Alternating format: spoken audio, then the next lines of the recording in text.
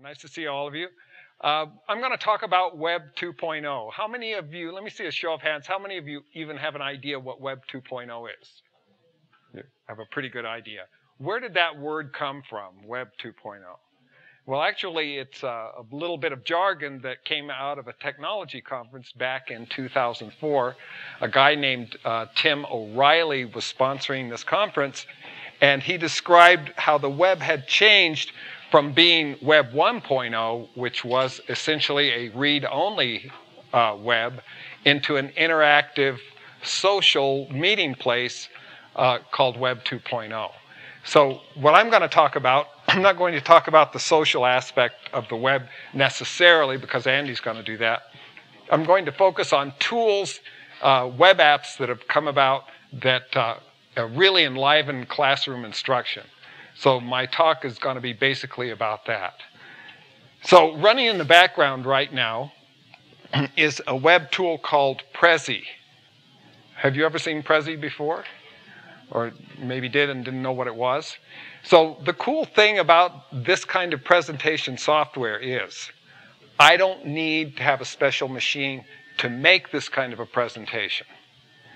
It's on the web, it's in the cloud. I don't have to worry about having a flash drive and moving my files from one place to another.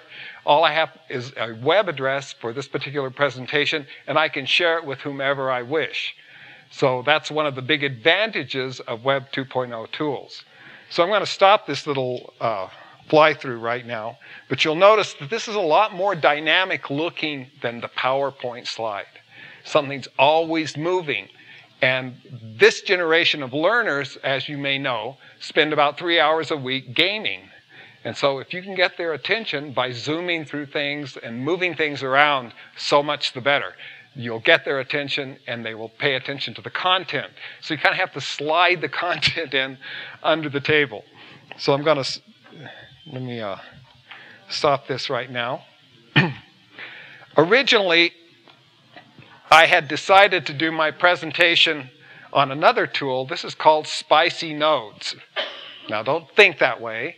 This is Spicy Nodes is uh, a, it's called a node map. It makes a, a, node map, and you could use this this particular tool, uh, also a Web 2.0 tool. It resides on the web. It has a web address. I can send any of you to see this this uh, this particular presentation. In fact, I'll share this link with you later.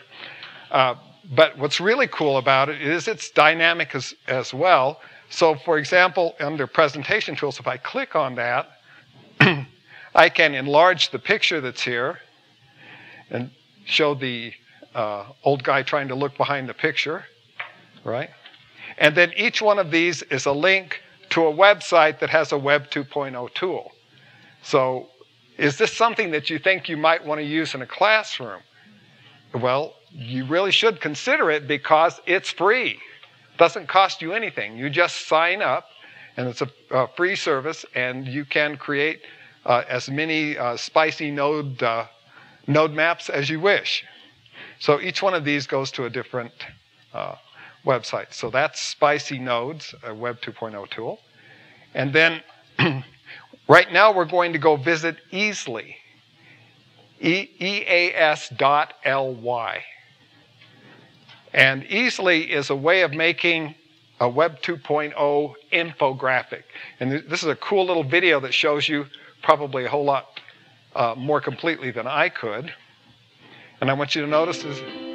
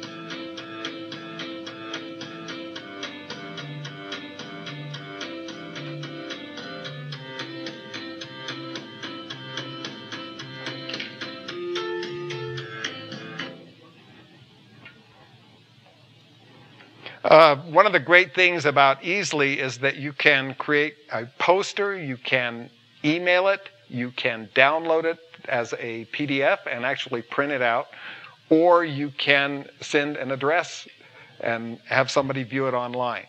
So that's one of the great things about Web 2.0 tools is that no longer are you a slave to software that's loaded on your computer.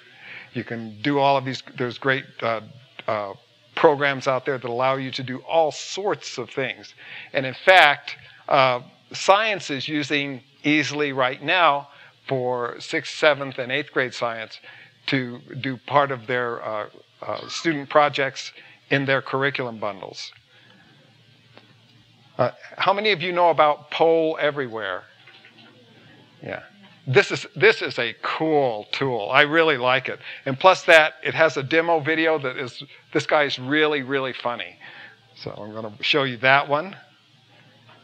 Then I'll quit with the videos. So if you're giving a presentation and you want to get some feedback from your audience. Show of hands. How many of you signed up for office hours? One, two, four, two, fifth. That's not very accurate. Old voting methods take far too long, and expensive voting systems like this one, well, they're difficult to set up and don't allow for audience comments. Hello? Introducing Poll Everywhere. Through a simple web interface, Poll Everywhere lets you collect instant audience feedback. Just type in a question, and your audience can respond using laptops, tablets, or even mobile phones, even your crappy flip phone. Hey guys, what do you think of my presentation so A, amazing, B, or C, not that great? To respond, just text message the number on screen. Or use a custom URL to respond in the web app. You can even use Twitter if that's what you're into. As people respond, results are embedded instantly into your presentation in real time. Seriously, guys? You can also ask open-ended questions. What is your favorite part of my outfit?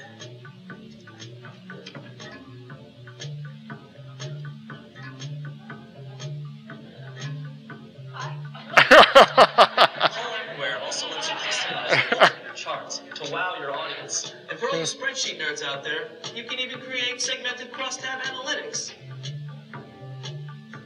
As for that is, you can try it today for free. So how excited are you guys about Poll Everywhere? A, can't contain it, or B, not at all? Kaboom! Instant audience feedback. Poll Everywhere. So, how many of you have uh, campuses that have those handheld student response systems? And how much do they cost? A lot, right? Guess what? This costs nothing. It's free. All you need is a cell phone or a computer lab. And so you don't, and it's always available. The free account allows up to 40 responses. So you could use it all in a regular classroom. Most classes aren't over 40. So for free, you could have your, your student response system ready to roll. And you can change the multiple choice questions, open ended questions, uh, text, any kind of uh, answers that you want are available. The next tool that I want to show you is called, actually, there are two tools that kind of do the same thing.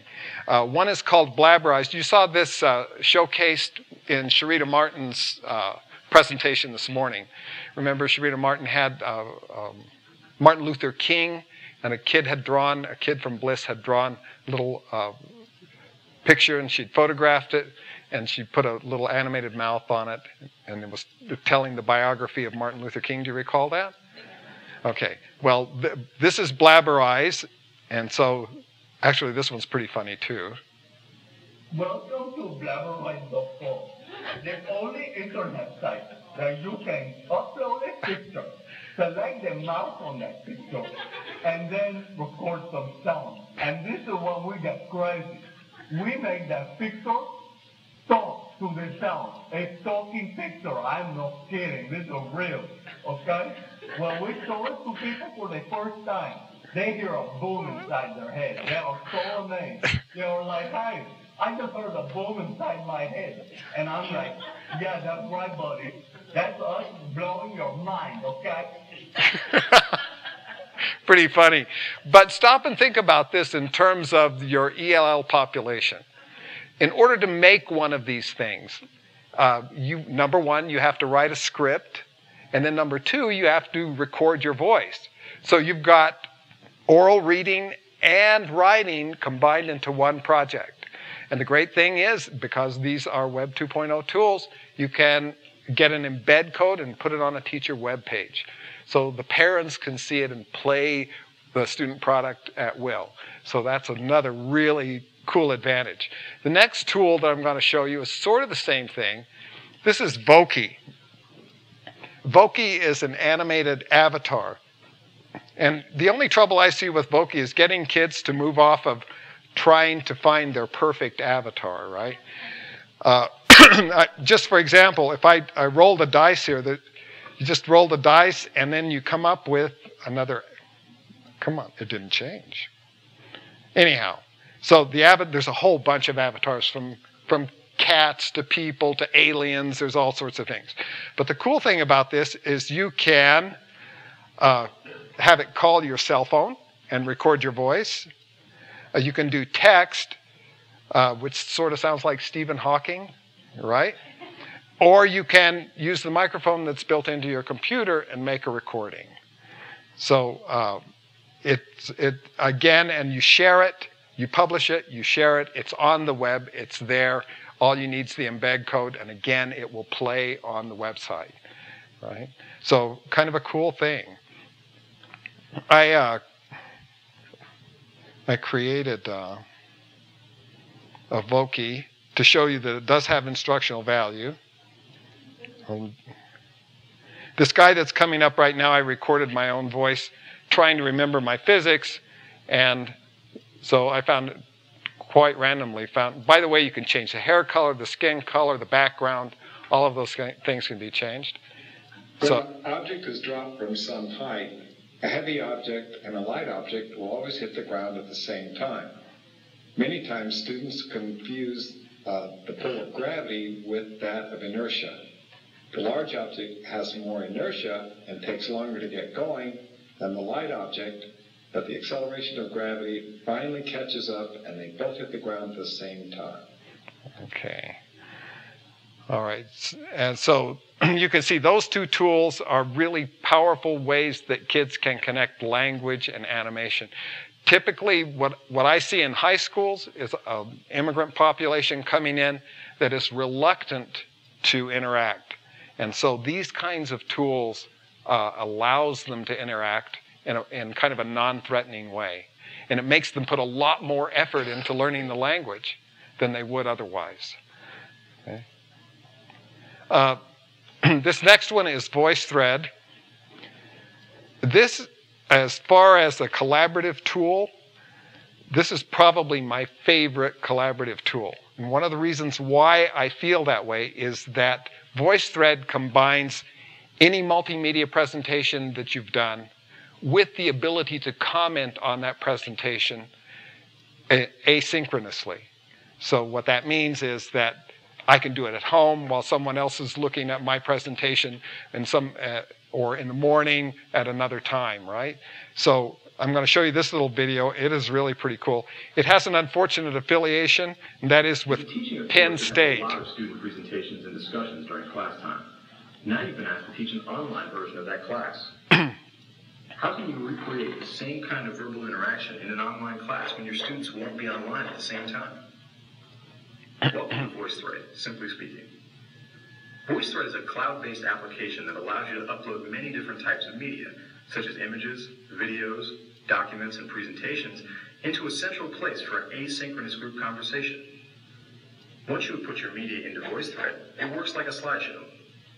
You can then share this VoiceThread with others by either sending them the link or embedding it in a web page, as you might do with a YouTube video. Those that you share it with can then make comments on any of the content in your VoiceThread at any time. They can make comments either by microphone, webcam, phone, text, or by uploading an audio file.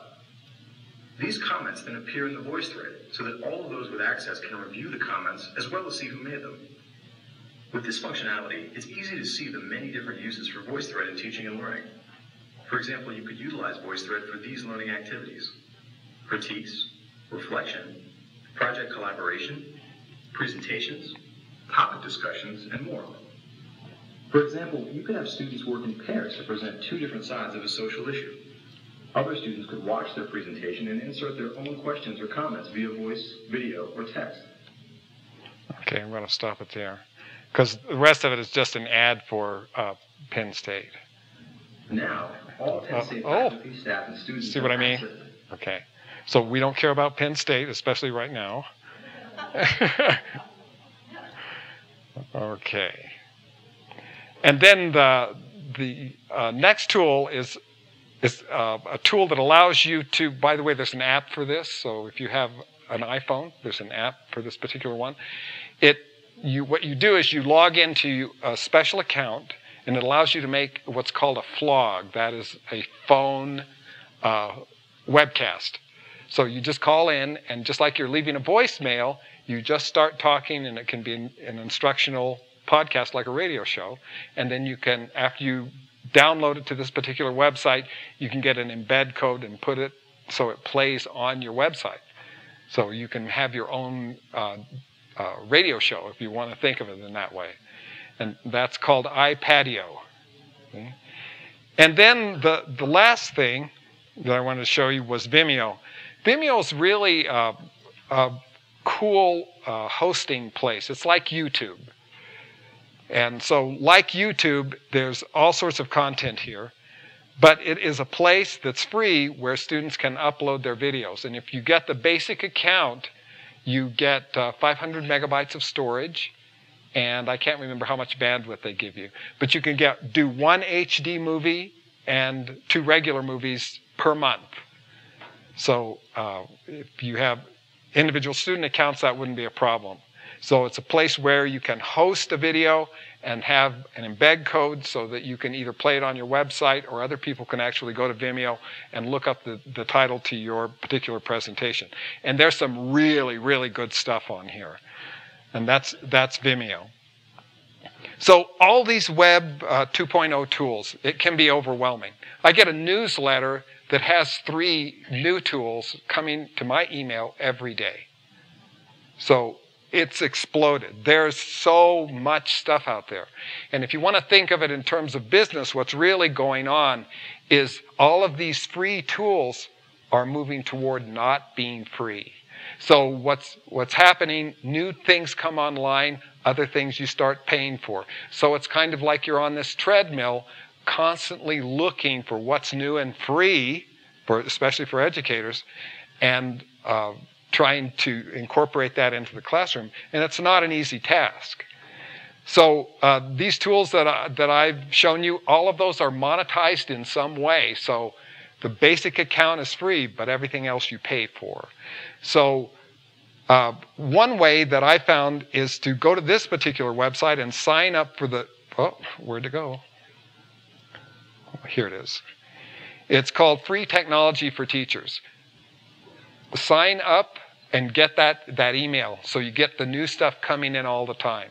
And if you don't have a chance to look at it, create a folder and save those, those emails that come in because this guy does a pretty good job of collecting those things as we go. All right. So what are you going to do about it? Are you going to go back to your classroom and and your response to intervention is going to be the same old same old? I hope not, right? Your response to intervention should be something entirely different. So take a risk, try it out. The most difficult student, you'd be surprised, it turns the tables on instruction. You'll get the most reluctant student uh, wanting to use these tools. Thank you.